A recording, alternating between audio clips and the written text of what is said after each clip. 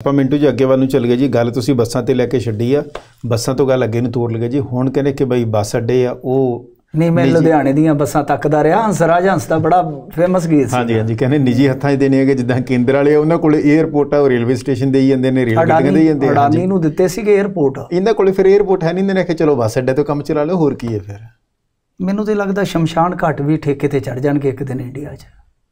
ਸਾਡਾ ਰੋੜੀਆਂ ਵਾਂਗੂ। ਜੀ। ਸ਼ਮਸ਼ਾਨ ਘਾਟਾਂ ਵਾਲਾ ਕੰਮ ਚੱਲਦਾ ਹੀ ਪਿਆ ਨਾ ਤੁਹਾਨੂੰ ਪਤਾ ਹੀ ਆ। ਆ ਵੇਖੋ ਮਰ ਜਾਣਿਆਂ ਨੇ ਕੀ ਕੀਤਾ ਸੀਗਾ? ਕਫਨ ਕਾਂਡ ਹੋ ਗਿਆ ਸੀ ਇੱਕ ਵਾਰੀ ਯਾਦ ਹੈ ਤੁਹਾਨੂੰ? ਕਰੋਨਾ ਦੇ ਦਰਮਿਆਨ। ਉਹ ਕਫਨ ਹੀ ਲਾ ਲਾ ਕੇ ਦੁਬਾਰਾ ਧੋ ਧਾ ਕੇ ਸੈੱਟ ਕਰਕੇ ਤੇ ਉਹ ਹੀ ਵੇਚੀ ਜਾਂਦੇ ਸੀ। ਉਸ ਤੋਂ ਬਾਅਦ ਸ਼ਾਇਦ ਡਿਫੈਂਸ ਦੇ ਵਿੱਚ ਵੀ ਇਦਾਂ ਹੋਇਆ ਸੀ ਪਹਿਲਾਂ ਸ਼ਾਇਦ ਉਸ ਨਹੀਂ ਉਹ ਤਾਬੂਤ ਸਕੈਮ ਸੀਗਾ। ਹਾਂਜੀ ਉਹ ਮੈਂ ਹਾਂ ਸ਼ਹੀਦਾਂ ਦੇ ਜਿਹੜੇ ਤਾਬੂਤ ਨਹੀਂ ਹੁੰਦੇ। ਜਿਨ੍ਹਾਂ 'ਚ ਡੈੱਡ ਬੋਡੀ ਆਉਂਦੀ ਹੈ। ਉਹ ਤਾਬੂਤ ਸਕੈਮ ਸੀਗਾ। ਹਾਂ ਉਹ ਉਹ ਵੀ ਇਸ ਤਰ੍ਹਾਂ ਦਾ ਹੋਇਆ ਸੀ। ਸਕੈਮ ਤੇ ਮੈਂ ਭੁੱਲਦਾ ਹੀ ਨਹੀਂ ਛੇਤੀ ਕਿਤੇ ਇੰਡੀਆ ਦੇ ਜੀਪ ਚੱਲੀ ਸੀ ਸਕੈਮ ਵਾਲੇ। ਸਭ ਤੋਂ ਪਹਿਲਾਂ ਆਜ਼ਾਦ ਭਾਰਤ ਚ ਕਹਿੰਦੇ ਕਿ ਸਾਈਕਲ ਜੀਪ ਘੁਟਾਲਾ। ਇੱਥੋਂ ਸ਼ੁਰੂਆਤ ਹੋਈ ਸੀ। ਉਹ ਜੀਪ ਜਿਹੜੀ ਆ ਉਹ ਹਿਸਾਬ ਲਾ ਲਓ ਰਫੇਲ ਬਣ ਕੇ ਉੱਡਣ ਲੱਗ ਜੀ, ਗਏ ਜੀ। ਸਫ਼ਰ ਐਸਾ ਸੀਗਾ ਜੀ। ਜੀ ਜੀ ਜੀ ਤਾਂ ਇਹ ਜਰਾ ਮਿੰਟੂ ਜੀ। ਹੁਣ ਕਹਿੰਦੇ ਕਿ ਬਈ ਬੱਸ ਅੱਡਿਆਂ ਨੂੰ ਦੇ ਦੇਣਾ ਘੱਟ। ਇਹਨਾਂ ਨੇ ਪ੍ਰਾਈਵੇਟ ਕੰਪਨੀਆਂ ਨੂੰ। ਕਿ ਬਈ ਕੱਟੋ ਪਰਚੀਆਂ ਹੁਣ ਤੁਸੀਂ। ਤੇ ਪਰਚੀਆਂ ਫਿਰ ਕਿਸ ਤਰ੍ਹਾਂ ਕੱਟਣਗੇ ਉਹ? ਇਹ ਨਹੀਂ ਪਤਾ ਤੇ ਇਹ ਵੀ ਨਹੀਂ ਪਤਾ ਕਿ ਬਈ ਉਹ ਕੰਪਨੀ ਕਿਹੜੀ ਹੋਊਗੀ ਉੱਤੋਂ ਵਾਲੀ ਹੋਊਗੀ ਕਿ ਥੱਲੇ ਵਾਲੀ ਗੱਲ ਕੀ ਹੈ ਕਿ ਇੱਕ ਅਖਬਾਰ ਨੇ ਇਹ ਸਾਫ਼ ਕੀਤਾ ਹੈ ਕਿ ਇਹਨਾਂ ਦੀ ਗੱਲਬਾਤ ਚੱਲਦੀ ਪਈ ਹੈ। ਟਰਾਂਸਪੋਰਟ ਮਹਿਕਮੇ ਦੇ ਅਧਿਕਾਰੀ ਇਹ ਗੱਲ ਪੇ ਕਹਿੰਦੇ ਨੇ ਕਿ ਭਾਈ ਜਿਵੇਂ ਹੁਣ ਲੁਧਿਆਣੇ ਦਾ ਬੱਸ ਅੱਡਾ ਉਹ ਕਹਿੰਦੇ ਅਸੀਂ ਵਧੀਆ ਸਵਾਰਿਆ ਇਹਨੂੰ ਠੀਕ ਠਾਕ ਕੀਤਾ ਵਧੀਆ ਹਾਲਤ ਦੇ ਵਿੱਚ ਹੈ। ਟਰਮੀਨਲ ਹੀ ਕਹਿ ਦਿੰਦੇ ਆ ਵੱਡੇ ਬੱਸ ਅੱਡਿਆਂ ਨੂੰ ਇੰਟਰਸਟੇਟ ਜਿਹੜੇ ਇੰਟਰਸਟੇਟ ਹੁੰਦਾ ਹਾਂ। ਹਾਂਜੀ। ਤਾਂ ਉਹ ਕਹਿੰਦੇ ਨੇ ਕਿ ਦੇਖੋ ਵੀ ਇੱਥੇ 1250 ਦੇ ਕਰੀਬ ਰੂਟ ਦੀਆਂ ਬੱਸਾਂ ਗੁਜ਼ਰਦੀਆਂ ਨੇ। ਆਮਦ ਰਵਾਨਗੀ ਹੁੰਦੀ ਆ। ਤੇ ਪੈਸਾ ਵਿੱਚੋਂ ਨਿਕਲਦਾ ਹੀ ਨਹੀਂ ਹੈ ਕਰੀਏ ਕੀ? ਆਮਦਨ ਬੜੀ ਥੋੜੀ ਆ। ਹੁਣ ਦੂਸਰੇ ਪਾਸੇ ਜਲੰਧਰ ਆ ਜੋ ਉੱਥੇ ਵੀ ਕਹਿੰਦੇ ਕਿ 1000 ਬੱਸ ਵੜਦੀ ਨਿਕਲਦੀ ਆ। ਪੱਲੇ ਉੱਥੇ ਵੀ ਕੁਝ ਨਹੀਂ ਪੈਂਦਾ। ਅੱਛਾ ਜੀ।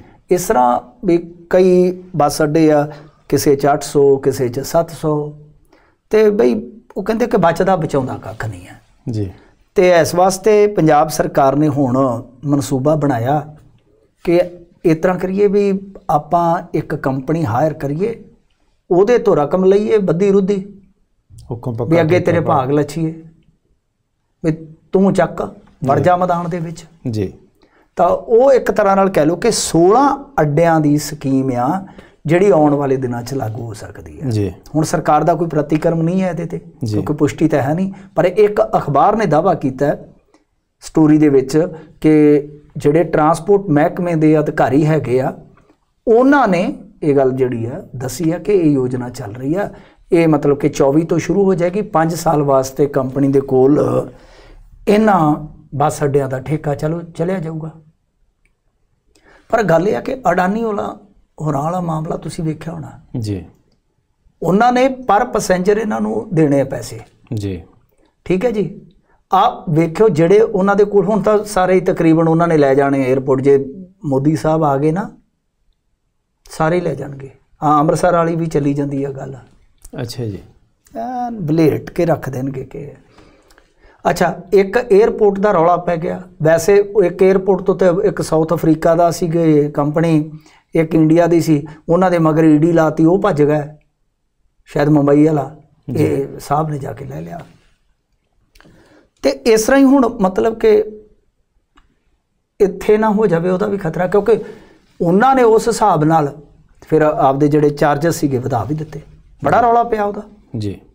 ਉਸੇ ਤਰ੍ਹਾਂ ਇਹੀ ਹੈ ਕਿ ਠੀਕ ਹੈ ਚਲੋ ਨਿੱਜੀਕਰਨ ਦਾ ਮੈਂ ਵੈਸੇ ਹਾਮੀਦਾਰ ਨਹੀਂ ਐਡਾ ਵੱਡਾ।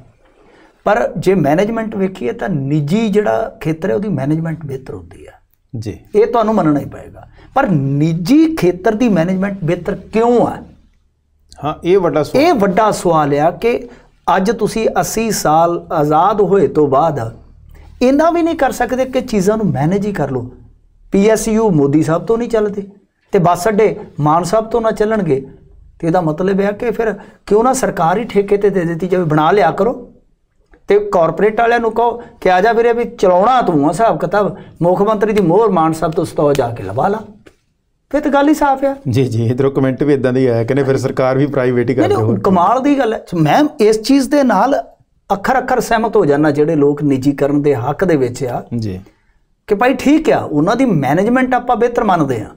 ਪਰ ਉਹ ਹੈ ਤਾਂ ਵੀ ਬੰਦੇ ਨੇ ਯਾਰ। ਜੀ। ਬੰਦੇ ਹੀ ਨੇ। ਜਿਹੜੇ ਆਪਦੇ ਕੰਮ ਨੂੰ ਖਿੱਚ ਕੇ ਰੱਖਦੇ ਆ। ਤੁਸੀਂ ਵੀ ਆਪਣੇ ਜਿਹੜੇ ਸਰਕਾਰੀ ਆ ਜਨਤਕ ਸੈਕਟਰ ਦੇ ਵਿੱਚ ਕੰਮ ਆ ਉਹਨਾਂ ਨੂੰ ਖਿੱਚ ਕੇ ਰੱਖੋ। ਇਹ ਕਿੱਥੇ ਗੜਬੜ ਆ ਕਿਉਂਕਿ ਉਹ ਜਦੋਂ ਪਾਰਕਿੰਗ ਸਲੋਟ ਬਣਾਉਣਗੇ ਉੱਥੇ ਜੀ। ਅੱਡਾ ਫੀਸ ਰਾਤ ਨੂੰ ਜਿਹੜਾ ਕੋਈ ਵਹੀਕਲ ਖੜਨਾ ਹੈ ਜਾਂ ਤੁਸੀਂ ਛੱਡਣ ਗਏ ਉਹਦੀ ਐਂਟਰੀ ਉਹ ਤੇ ਆਪਦੇ ਹਿਸਾਬ ਨਾਲ ਵਧਾਈ ਜਾਣਗੇ। ਜੀ। ਕਿਉਂਕਿ ਉਹਨਾਂ ਨੇ ਆਪਣਾ ਮੁਨਾਫਾ ਵੇਖਣਾ। ਫਿਰ ਜਨਤਕ ਸੈਕਟਰ ਜਨਤਾ ਦਾ ਤਾਂ ਨਾ ਨਾ ਰਿਹਾ। ਜੀ। ਇਹ ਆਪਣੇ ਆਪ ਦੇ ਵਿੱਚ ਕਿ ਇੱਕ ਪਾਸੇ ਟੋਲ ਤੁਸੀਂ ਕਹਿ ਰਹੇ ਹੋ ਕਿ ਮੈਂ ਜਨਤਾ ਦੀ ਲੁੱਟ ਨਹੀਂ ਹੋਣ ਦੇਣੀ ਤੇ ਦੂਜੇ ਪਾਸੇ ਦੂਜੀ ਲੁੱਟ ਦਾ ਤੇ ਉਹ ਆਪ ਖੋਲ ਰਿਹਾ ਜੀ? ਤੇ ਦੂਜੀ ਗੱਲ Management ਠੀਕ ਪਹਿਲਾਂ। ਹੋਇਆ ਸੀ ਇਦਾਂ ਸਰਕਾਰ ਨੇ ਕੀਤਾ ਤੇ ਉਹ- ਉਸ ਤੋਂ ਬਾਅਦ ਤੁਸੀਂ ਵਿਰੋਧ ਕਰ ਬਿਲਕੁਲ ਰਹੇ ਮੈਂ ਇਸ ਹੱਕ ਦੇ ਵਿੱਚ ਹਾਂ ਕਿ ਘਾਟੇ ਨੂੰ ਖਤਮ ਕਰਨ ਵਾਸਤੇ ਵਧੀਆ ਢੰਗ ਨਾਲ ਕਰੋ। ਤੁਹਾਡੇ ਕੋਲ ਕੀ ਅਫਸਰਸ਼ਾਹੀ ਹੈ ਨਹੀਂ ਤੁਹਾਡੇ ਕੋਲ ਉੱਤੇ ਮਹਿਕਮੇ 'ਚ ਸੈਕਟਰੀ ਨਹੀਂ ਬੈਠਾ। ਤੁਹਾਡੇ ਕੋਲ ਮੰਤਰੀ ਨਹੀਂ ਬੈਠਾ। ਤੁਹਾਡੇ ਕੋਲ ਸਾਰੀ ਸਰਕਾਰ ਸਾਰੀ ਮਸ਼ੀਨਰੀ ਨਹੀਂ ਬੈਠੀ? ਦਰੁਸਤ ਕਰੋ ਇਹਨੂੰ ਚੁਸਤ ਵੀ ਹਾਂ ਬਈ ਜਿੱਥੇ ਵੀ ਕਮੀ ਪੇਸ਼ੀ ਹੈ, ਅਸੀਂ ਇਹ ਦੂਰ ਕਰਾਵਾਂਗੇ ਤੁਹਾਡੇ ਤੋਂ। ਹਾਂਜੀ। ਅਸੀਂ ਮੰਨ ਲਓ ਸਰਕਾਰ ਦੇ ਤੌਰ ਤੇ ਇਨਵੈਸਟਮੈਂਟ ਕੀਤੀ ਆ ਟੈਕਸ ਪੇਅਰਸ ਦੇ ਪੈਸੇ ਦੀ ਤੇ ਤੁਸੀਂ ਬੀਬੇ ਬਣ ਕੇ ਭਾਈ ਇਹ ਇੱਥੇ ਪੂਰੀ ਠੋਕ ਵਜਾ ਤਾਂ ਕੇ ਮਿਹਨਤ ਕਰੋ। ਭਰਤੀ ਕਰ ਲਓ ਹੋਰ ਨਾਲੇ ਰੋਜ਼ਗਾਰ ਮਿਲੂਗਾ ਨਾਲੇ ਕੰਮਕਾਜ ਮਿਲੂ ਨਾਲੇ ਸਰਕਾਰ ਦੀ ਆਮਦਨ ਉਹੀ ਤੇ ਗੱਲ ਪਹਿਲਾਂ ਕਹਿੰਦੇ ਸਨ ਕੱਚੀ ਭਰਤੀ ਨਹੀਂ ਕਰਨੀ ਹੁਣ ਆਊਟਸੋਰਸਿੰਗ ਦੀ ਭਰਤੀ ਵੀ ਕਰਦੇ ਪਏ ਨੇ ਟਰਾਂਸਪੋਰਟ ਮਹਿਕਮੇ 'ਚ। ਜੀ। ਵੀ ਕਿਸੇ ਗੱਲ ਤੇ ਖਲੋ ਤੇ ਜਾਓ ਨਾ। ਜੀ। ਕਿ ਇੱਕ ਪਾਸੇ ਟੋਲ ਕਹਿੰਦੇ ਹੋ ਕਿ ਜਨਤਾ ਦੀ ਲੁੱਟ ਨਹੀਂ ਹੋਣ ਦੇਣੀ। ਤੇ ਦੂਜੇ ਪਾਸੇ ਗਰੰਟੀ ਲਵੋਗੇ ਕਿ ਉਹ 6 ਮਹੀਨਿਆਂ ਬਾਅਦ ਪਰਚੀ ਦਾ ਰੇਟ ਵਧਾ ਦਿਆ ਕਰਨਗੇ ਜਦੋਂ ਵੀ ਉਹਨਾਂ ਦਾ ਜੀ ਕੀਤਾ। ਜੀ। ਅਗਲਿਆਂ ਨੇ ਜਦੋਂ ਠੇਕੇ ਤੇ ਲੈ ਲਿਆ। ਜੀ। ਆਹੀ ਆ ਪਾਰਕਿੰਗ ਵਾਲਾ ਰੌਲਾ ਦੇਖਿਆ ਨਾ ਬਠਿੰਡੇ ਦਾ ਤੁਸੀਂ? ਹਾਂਜੀ। ਆ ਮੇਲੇ ਦੀ ਹੱਤਿਆ ਉਹਦਾ ਹੀ ਨਤੀਜਾ। ਫਿਰ ਨਿੱਜੀ ਤਾਂ ਇੱਕ ਤਰ੍ਹਾਂ ਨਾਲ ਕਹਿ ਲਓ ਕਿ ਹੋਰ ਵੀ ਕੰਮ ਖੁੱਲ ਜਾਂਦੇ ਆ। ਜੀ ਜੀ ਜੀ ਜੀ ਜੀ। ਇਧਰੋਂ ਜਗਸੀਰ ਜੀ ਕਹਿੰਦੇ ਜੀ ਆਪਣੇ ਮੁਕਸਰ ਵਾਲਾ ਅੱਡਾ ਵੀ ਕਹਿੰਦੇ ਕਿ ਬਾਈ ਠੇਕੇ ਦੇ ਉੱਤੇ ਇਦਾਂ ਹੀ ਕਹਿੰਦੇ ਕਿ ਬੱਸ ਸਟੈਂਡ ਹੁਣ ਵੀ ਠੇਕੇ ਦੇ ਉੱਤੇ ਹੈ ਮੁਕਸਰ ਵਾਲਾ। ਬਸ ਇਹੀ ਆ ਕਿ ਜਿਹੜੇ ਬੱਚੇ ਆ 16 ਵੱਡੇ ਉਹ ਚਲੇ ਜਾਣਗੇ ਜੀ। ਜੀ। ਵੈਸੇ ਉਹ ਤੇ ਤੁਹਾਨੂੰ ਪਤਾ ਹੈ ਨਾ ਮਲੋਟ ਵਾਲਾ ਜਿਹੜਾ ਬੱਸ ਅੱਡਾ ਤੁਹਾਨੂੰ ਉਹ ਉਹਦੇ ਬਾਰੇ ਵੀ ਦੱਸ ਦਿਓ ਮਾਨ ਸਾਹਿਬ ਕਿ ਉਹ ਕਿੱਦਾਂ ਚੱਲਦਾ ਹੈ। ਜੀ। ਇਹਨਾਂ ਨੂੰ ਦੱਸਦੀ ਆਡੀਅנס ਵਾਲਿਆਂ ਨੂੰ ਕਿ ਉਹ ਇੱਕ ਘਰ ਦਾ ਬੱਸ ਅੱਡਾ। ਹਾਂਜੀ ਉਹ ਇੱਕ ਘਰ ਦਾ ਹੈ, ਉਹਨਾਂ ਦੀ ਆਪਦੀ ਪ੍ਰਾਪਰਟੀ 'ਚ ਬਣਿਆ ਹੋਇਆ ਉਹਨਾਂ ਦੀ ਆਪਦੀ ਪ੍ਰਾਪਰਟੀ 'ਚ ਉਹ ਪੈਸਾ ਲੈਂਦੇ ਨੇ। ਤੇ ਦੂਜੀ ਤਗੜੇ ਬੰਦੇ ਨੇ ਉਹ ਗਾਂ ਬੰਨ ਵੀ ਨਹੀਂ ਦਿੰਦੇ ਛੇਤੀ ਕਿਤੇ ਬਾਹਰ। ਵੰਡ ਵੀ ਨਹੀਂ ਦਿੰਦੇ ਤੇ ਜ਼ੋਰ ਲਾ ਕੇ ਦੇਖ ਲਿਆ ਪਹਿਲਾਂ ਵਾਲਿਆਂ ਨੇ ਵੀ ਸਾਰਿਆਂ ਨੇ ਬਣੀ ਨਹੀਂ ਗੱਲ। ਵੀ ਸ਼ਹਿਰੋਂ ਬਾਹਰ ਕੱਢੋ ਸ਼ਹਿਰੋਂ ਬਾਹਰ ਕੱਢੋ। ਸ਼ਹਿਰੋਂ ਤਾਂ ਹੀ ਆ ਕਿਉਂਕਿ ਅਗਲਿਆਂ ਦਾ ਰਸੂਖ ਹੈ ਜੀ। ਜੀ। ਤੇ ਵੇਖ ਲਓ ਇਹ ਵੀ ਹੈ ਪੰਜਾਬ ਦੇ ਵਿੱਚ। ਗਾਂ ਵੀ ਦੱਸ ਦਿਓ ਆਪਦੇ ਯਾਰਾਂ ਬੇਲੀਆਂ ਨੂੰ ਜੀ। ਨੇੜਦਿਆਂ ਨੂੰ ਕਿ ਇੱਕ ਸ਼ਹਿਰ ਐਸਾ ਜਿਹਦੇ ਵਿੱਚ ਪੰਜ ਵਾਰ ਦਾ ਮੁੱਖ ਮੰਤਰੀ ਉਹਦਾ ਪਿੰਡ ਪੈਂਦਾ। ਜੀ। ਤੇ ਬੱਸ ਅੱਡਾ ਸਰਕਾਰੀ ਨਹੀਂ ਬਣ ਸਕਿਆ ਪ੍ਰਾਈਵੇਟ ਪ੍ਰਾਪਰਟੀ 'ਚ ਬੱਸ ਅੱਡਾ ਚੱਲਦਾ ਹੈ। ਜੀ। ਤੇ ਉਹਦੇ 'ਚ ਕੁਝ ਵੀ ਨਹੀਂ ਹੈਗਾ ਨਾ ਥੱਲੇ ਚੱਜ ਦੀ ਫਰਸ਼ ਨਾ ਉੱਤੇ ਕੋਈ ਸ਼ੈੱਡ ਨਾ ਲੈਣਾ ਨਾ ਦੇਣਾ। ਉਹ ਪੁਰਾਣਾ ਬਰਾਂਡਾ ਹੀ ਉਦੋਂ ਛੋਟੇ ਛੋਟੇ ਹੁੰਦੇ ਉਹ ਪਾਇਆ ਉਦੋਂ ਦਾ ਹੀ ਕੰਮ ਚੱਲੀ ਜਾਂਦਾ। ਬਾ ਮੀਂਹ ਵੇਲੇ ਡਰ ਰਹਿੰਦਾ ਵੀ ਥੱਲੇ ਵੀ ਨਾ ਪਾਣੀ ਆਵੇ ਤਾਂ ਤੋਂ ਵੀ ਉਹ ਕਰਦਾ ਮੀਂਹ 'ਚ ਤੇ ਸਾਰੇ ਅੱਧੇ ਸ਼ਹਿਰ ਦਾ ਪਾਣੀ ਉਹਦੇ 'ਚ ਆ ਜਾਂਦਾ। ਬੱਸਾਂ ਇੱਥੋਂ ਲੱਖ ਲੱਖ ਤੱਕ ਡੁੱਬੀਆਂ ਹੁੰਦੀਆਂ ਜੀ ਜੀ ਜੀ ਚਲੋ ਅੱਜ ਮਲੋਟ ਵਾਲਾ ਬੱਸ ਅੱਡਾ ਵੀ ਯਾਦ ਕਰ ਲਿਆ ਸਾਡੀਆਂ ਤੇ ਬੜੀਆਂ ਯਾਦਾਂ ਜੁੜੀਆਂ ਜੀ ਜੀ। ਹੁਣ ਇਹ ਨਹੀਂ ਪਤਾ ਕਿ ਇਹਨੂੰ ਠੇਕੇ ਤੇ ਦੇਣ 'ਚ ਕਾਮਯਾਬ ਹੋ ਜੂ ਕਿ ਨਹੀਂ ਹੋ ਜੂ ਸਰਕਾਰ? ਇਹਨੂੰ ਕਿੰਨੇ ਲੈਣਾ ਹੈ? ਇੱਥੇ ਲੈਣਾ ਹੀ ਨਹੀਂ ਹੈ ਉਹਨਾਂ ਕਹਿਣਾ ਇੱਥੇ ਡੁੱਬਣਾ ਜੇ? ਜੀ। ਉਹ ਤੇ ਨਵਾਂ ਬਣੇਗਾ ਤੇ ਤਾਦੀ ਆ ਨਾ। ਜੀ ਜੀ ਬਈ ਬਹੁਤ ਯਾਦਾਂ ਜੁੜੀਆਂ ਹੁੰਦੀਆਂ ਬੱਸ ਅੱਡੇ ਨਾਲ। ਸਾਡੀਆਂ ਬਹੁਤ ਯਾਦਾਂ ਜੁੜੀਆਂ ਜੀ ਜੀ ਜੀ ਜੀ। ਇਧਰੋਂ ਰਜੀਵ ਜੀ ਕਰੇ ਜੀ ਦਿੱਲੀ ਵਾਲਾ ਹੋਣਾ ਜੀ ਕੋਈ ਠੇਕੇਦਾਰ ਤਾਂ। ਬਾਈ ਉਹ ਤਾਂ ਹੁਣ ਹਾਲੇ ਪਤਾ ਨਹੀਂ ਜਦੋਂ ਕੋਈ ਜਦੋਂ ਆਏਗਾ ਲਾਟਰੀ ਸੱਪ ਨਿਕਲੇਗਾ ਫੇਰ ਹੀ ਪਤਾ ਲੱਗਣਾ ਲਾਟਰੀ ਆਪਾਂ ਨੂੰ। ਦੇਖਦੇ ਆ ਕਿਹਦੀ ਲੱਗਦੀ ਹੈ ਤਾਂ ਹੁਣ ਹਾਲੇ ਨਹੀਂ ਪਤਾ। ਜ਼ਿਆਦਾਤਰ ਤੇ ਅੱਜ ਕੱਲ ਸਾਰਾ ਟੈਲੈਂਟ ਜੇ ਵੇਖੀਏ ਤੇ ਦਿੱਲੀ ਚੋਂ ਹੀ ਮਿਲਦਾ ਪਿਆ ਹੈ। ਹਾਂਜੀ ਹਾਂਜੀ ਹਾਂਜੀ। ਪੰਜਾਬ 'ਚ ਟੈਲੈਂਟ ਜਿਹੜਾ ਹੈ ਨਾ ਉਹਦਾ ਸੋਕਾ ਪੈ ਗਿਆ ਜੀ। ਜੀ। ਸੋਕਾ ਪੈ ਗਿਆ। ਇਹ ਕਹਿੰਦੇ ਹੁੰਦੇ ਸੀ ਕਿ ਸਾਰਾ ਟੈਲੈਂਟ ਲੀਡਰਾਂ ਦੇ ਘਰ ਹੀ ਜੰਮਦਾ। ਜੀ। ਤੇ ਹੁਣ ਸਾਨੂੰ ਇਹ ਲੱਗਦਾ ਕਿ ਸਾਰਾ ਟੈਲੈਂਟ ਹੁਣ ਦਿੱਲੀ 'ਚ ਹੀ ਜੰਮਦਾ।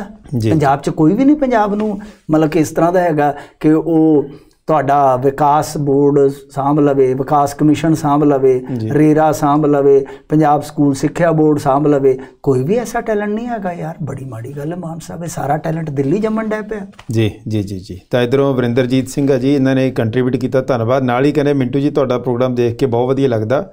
ਤੇ ਸੱਚੀਆਂ ਤੇ ਖਰੀਆਂ ਗੱਲਾਂ ਕਰਦੇ ਹੋ ਤੁਸੀਂ ਕਹਿੰਦੇ ਕਿ ਮੁਰੀਦ ਆ ਤੁਹਾਡੀਆਂ ਗੱਲਾਂ ਦੇ ਜੀ। ਤੇ ਮਿਹਰਬਾਨੀ ਜੀ। ਤੇ ਇਧਰੋਂ ਇੱਕ ਵੀਰ ਹੋਰ ਨੇ ਜੀ ਤਾਂ ਇਹ ਕਹਿੰਦੇ ਕਿ ਜੀ ਆਪਣਾ ਆਸਟ੍ਰੇਲੀਆ ਦੇ ਵਿੱਚ ਮੋਸਟਲੀ ਪ੍ਰਾਈਵੇਟ ਕੰਪਨੀਆਂ ਹੀ ਹੈ ਜਿਹੜੀਆਂ ਉਹ ਰਨ ਕਰਦੀਆਂ ਇਸ ਤਰ੍ਹਾਂ ਦੇ ਨਾਲ।